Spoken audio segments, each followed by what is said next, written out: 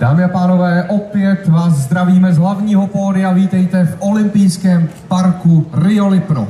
Rok 2016 a 31. hry letní olympiády jsou v plném proudu. Nás dnes čeká hned několik českých zástupní a zástupců, kteří se budou buď být o postup do finále, a nebo doufejme také ve finále bojovat o olympijské medaile. A vy doufáme jim budete fandit. A není vás tady málo.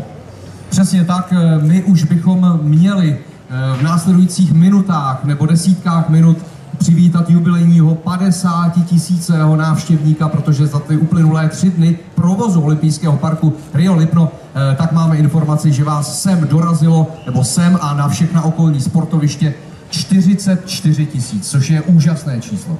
Uvidíme, kdy se nám tady objeví 50 tisící návštěvník. Pro něj máme samozřejmě připravené také nějaké drobné dárky a také jeden velký zážitek, který vy si budete moci vychutnávat s instruktory. On s vicemistrem Evropy. K tomu se ale dostaneme. Přesně tak, eh, úplně na úvod, než pozveme i prvního hosta na pódium, tak si zrekapitulujeme to, co se stalo eh, v Riu v pozdních večerních nebo nočních hodinách, protože toho bylo hodně a celkem těch disciplín je 306, tak abychom neustále eh, byli, řekněme, v provozu a ve vědomosti, jak to v Riu vypadá, kdo tam získává medaile, kdo je úspěšný a kdo případně ne. Takže začneme tím souhrnem ze včerejšího dne a začneme v plaveckém bazénu. Kde se českým barvám úplně tolik nedařilo. Simona Baumrtová i Martina Moravčíková jsou ze hry venku. Simona Baumrtová těsně nepostoupila do semifinále znakavského závodu na 100 metrů. Skončila na 17. místě a to o 19 setin sekundy za postupem. První nepostupové místo bylo to, byl to výsledek, který byl daleko za jejím osobním rekordem, vteřinu a čtvrt.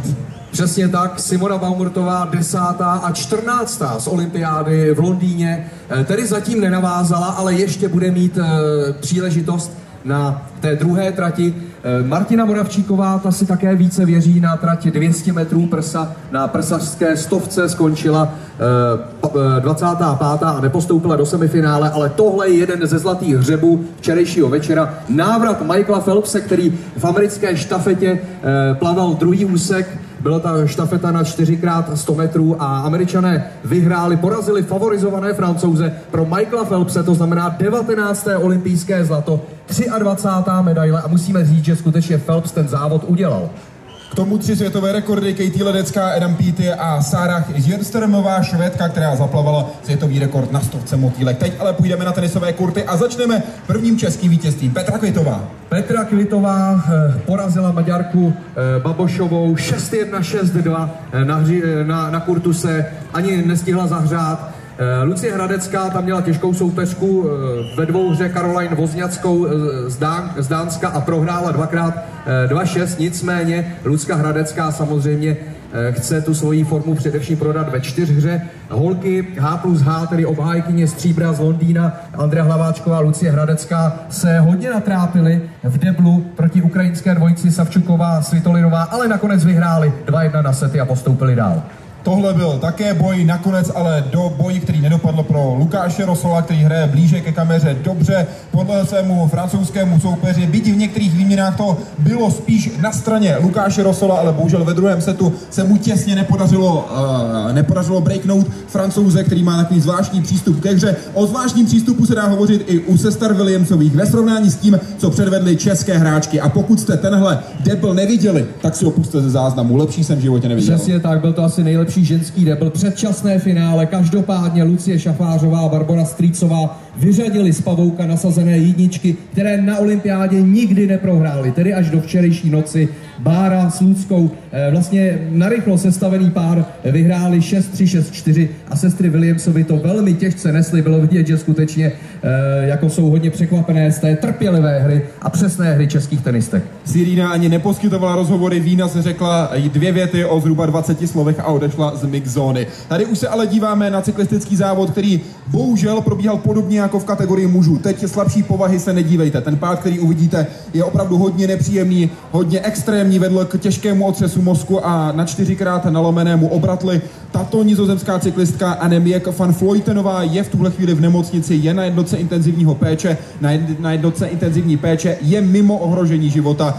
První, co udělala, bylo gratulovala, gratulovala svojí kolegyni, protože ta si dojela pro vítězství. Vítězství si totiž vybojovala van der Bregenová, která nakonec přespurtovala švédku Emu Johansenovou a také italku Elisi Longo Borginiovou. Největší smolařkou celého tohoto závodu byla čtvrtá Mara Evotová, která byla dostižena nějakých 50 metrů před cílem a nakonec skončila na čtvrtém místě. Střelecké soutěže jsou v plném proudu. Ženy už eh, mají rozdělené medaile v disciplíně trap, která nás eminentně zajímá mezi muži. Na střelnici fouká také silný vítr, takže tenhle ten rozstřel mezi Australankou Skinnerovou a Novozélandiankou Luniovou eh, dopadl nakonec pro Australanku 12-11, ale také byl ovlivněn hodně větrem. Nicméně nás zajímá, že po třech položkách kvalifikaci v mužském trapu. Je na tom zatím skvěle na děleném čtvrtém místě David Kostelecký. Eh, někde píšou, že je pátý, ale vlastně on se střelil 72 z 75 holubů a na Massima Fabrici ho ztrácí eh, zatím tři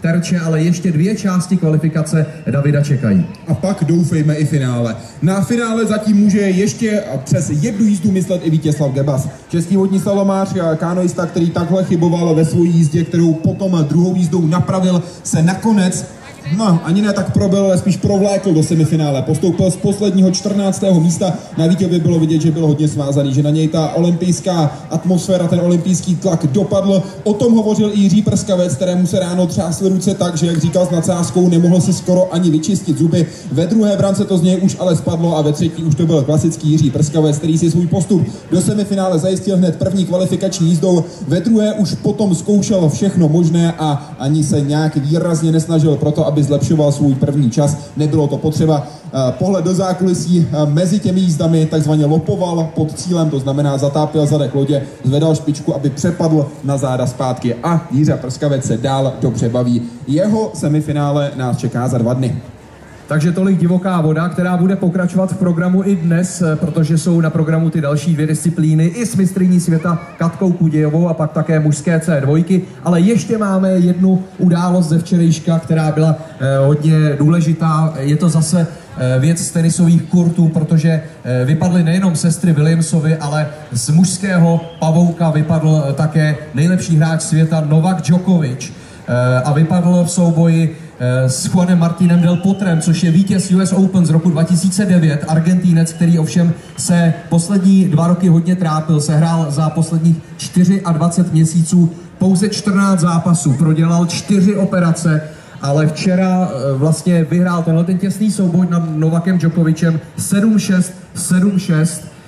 Eh, Del Potro se propadl do druhé tisícovky žebříčku ATP a prostě tohle jeho vítězství eh, neznamenalo, že by nějak splály velké emoce, eh, takové ty pozitivní, ale on se prostě rozbrečel jako malý kluk na rameni Novaka Djokoviče, protože oba to jsou velcí kamarádi, takže si oba takhle eh, v náručí pobrečeli, protože i Novak plakal, zase nezíská olympijské zlato. V podstatě to je jediné, co mu chybí v jeho obrovsky nabité kariéře a pokud je o ten den Juana Martina del Potra, tak ten nezačal vůbec dobře. Na 40 minut uvízl ve výtahu a zachraňovali ho argentinští házenkáři, kteří potom jeli na svůj zápas a na rozdíl od del Potra bohužel svůj zápas nedotáhli, byť by si za tenhle fair play rozhodně krok zasloužili. Ukrajinci je porazili v tom utkání a tak si připsali právě ukrajinské barvy svoje dílčí vítězství. Tak a tolik tedy souhrn na obrazovce. Doufám, že teď už všechno víme eh, na startu toho dalšího soutěžního dne a přivítáme prvního hosta přímo tady na pódiu v olympijském parku Rio Lipno. Je to muž, který, kterému chybělo skutečně málo, aby eh, byl eh, v soutěži v Riu, konkrétně v parkourovém skákání. Je to náš elitní český jezdec Aleš Opatrný. Aleši, vítej, hezký den. Sedminásobný český šampion. Aleši, co chybělo, aby si nebyl tady v parku Rio Lipno, ale tam v Rio de Janeiro? Tak samozřejmě e, chybělo opravdu málo, protože e, sezona běžela, byla dlouhá, běžela dlouho a v posledním závodě, kde jsem měl ještě poslední šanci se dostat na olympiádu, chyběla půl sekunda. Půl sekunda. Kolik je těch, kteří můžou reprezentovat na olympijských hrách parkourovém skákání? E, 75 jezdců a koní. Eh, tahle disciplína nebo vůbec jezdectví, to je samozřejmě o soužití člověka se zvířetem. Eh, vlastně tam, kde působí ještě zvíře na olympijských hrách, tak to je část moderního pětiboje a tyhle ty vaše disciplíny. Eh, čím je to, v čem je to specifické? Protože vy si samozřejmě nemůžete asi s koněm úplně popovídat ráno, jestli má dobrou formu, jestli se dobře vyspal a tak dále. Takže jak se tohle to řeší na těch vrcholných závodech? Přesně jak říkáš, to je na tom to nejtěžší. My musíme toho koně dlouho poznat, aby jsme ráno, ráno zjistili, když se k němu, když k němu přijdeme, aby jsme zjistili, jestli, jestli je v pohodě, jestli je prostě jako každý den, anebo jestli prostě si třeba přeležel nohu, nebo prostě mu není dobře. Takže my toho koně musíme s tím koněm být každý den a poznat ty koně a hlavně, eh, a hlavně doufat, že nic takového se mu na tak důležitém závodě, třeba jako je teď olympiáda, no, mistrovství Evropy, mistrovství světa, nic takového nepřihodí. Jak se řeší u takovýchhle koní přeprava na olympijské hry? Jak dlouho se aklimatizují závodníci, jak dlouho se aklimatizují koně? Tak eh, třeba na olympijské hry eh, koně docestovali včera a v neděli mají první závodní den, ale když já jsem byl třeba na finále světového poháru v Las Vegas, tak eh, tam koně dorazili v pondělí a ve středu jsme skákali, takže ta aklimatizace není moc dlouhá.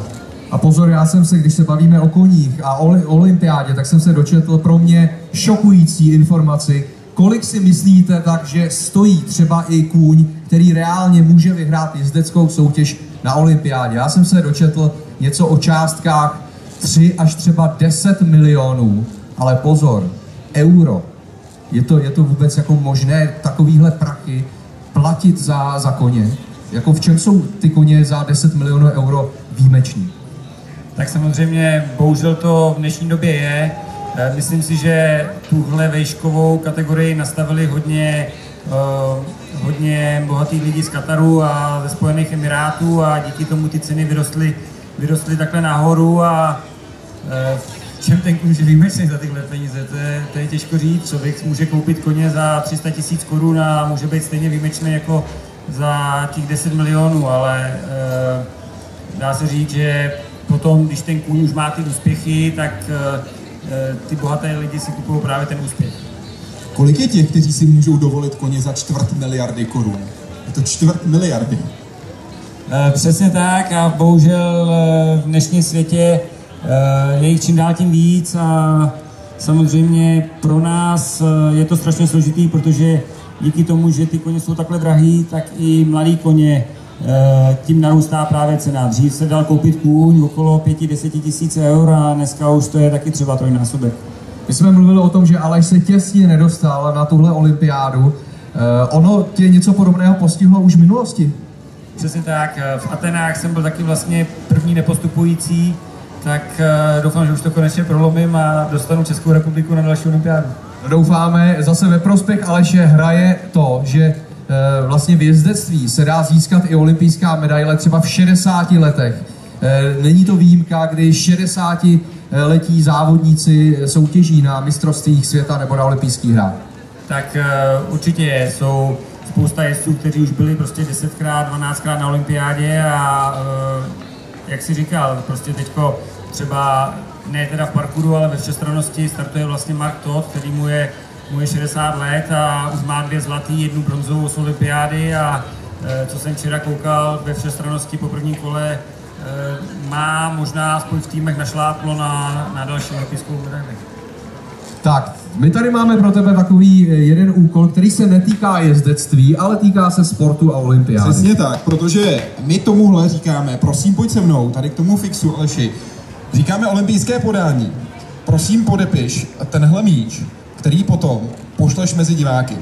Je to profesionální volejbalový míč, se kterým by se mohlo hrát naplno, je od společnosti Chaps a hosté, kteří jsou tady u nás, ho vždy pošlou mezi diváky. Jakýmkoliv způsobem, ale je to na tobě.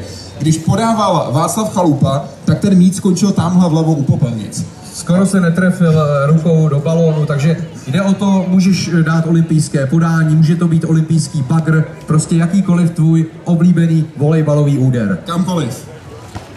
Jo, do první brázdy. Do první brázdy. To bylo tak trochu zasmečované, jak bych řekl.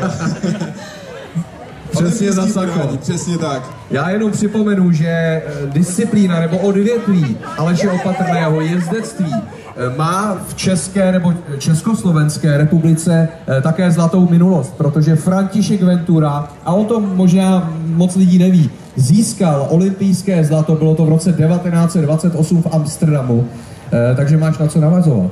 Tak eh, samozřejmě už je to pěkně dlouhá doba a eh, doufám, že nebudeme už muset dlouho čekat a někdo, někdo prostě z Čech, někomu se to povede. Poslední věc, protože jsme v olympijském parku, tak mají možnost návštěvníci se seznámit s tvým sportem i přímo tady? Tak určitě mají, dá se říct, že na druhé straně pod Lenovkou má Česká jezdecká federace stánek, eh, tam jsem byl dnes dopoledne, eh, zítra tam bu- bude můj stávý kolega Jaroslav Hatla, který vlastně už eh, startoval na dvou olympiádách, takže tam lidi můžou kdykoliv zajít a seznámit se a jsou tam, zítra tam budou i, i tři podnící, takže lidé si tam můžou, můžou zajít a s dětma se tam pobavit. Tak děkujeme, hodně štěstí, ať to příště za ty čtyři roky vyjde, ať vidíme Aleše Opatrného v Tokiu na olympijských hrách. Aleš Opatrný. Za Alešem navíc můžete dorazit, můžete si k němu přijít pro podpis a to přímo sem do stánku Jižních Čech, Jižní Čechy olympijské 2016. Tam za vámi vyrazí a do půl čtvrté, Aleši, platí to? Do půl čtvrté budeš rozdávat autogramy? Jdeš tam hned, to je možná přesnější otázka, jde tam hned, výborně. Aleš tam bude hned, to znamená za pár desítek vteřiny je tam u vás Aleš Opatrný, který bude rozdávat autogramy, má připravené i podpisové karty, to znamená, že má pro vás připravenou i to, co si můžete odnést. Pokud budete chtít podepsat cokoliv jiného, je to na vás. Zatím nejoriginálnější žádost, kterou jsem se dozvěděl, byla tedy od, byla žádost na Petra Koukala, českého badmintonistu, který říkal, že za ním přišel jeden pán a chtěl si nechat podepsat baterku od mobilu zevnitř. Říkal, že to ještě nikdo nemá a že to hrozně chce.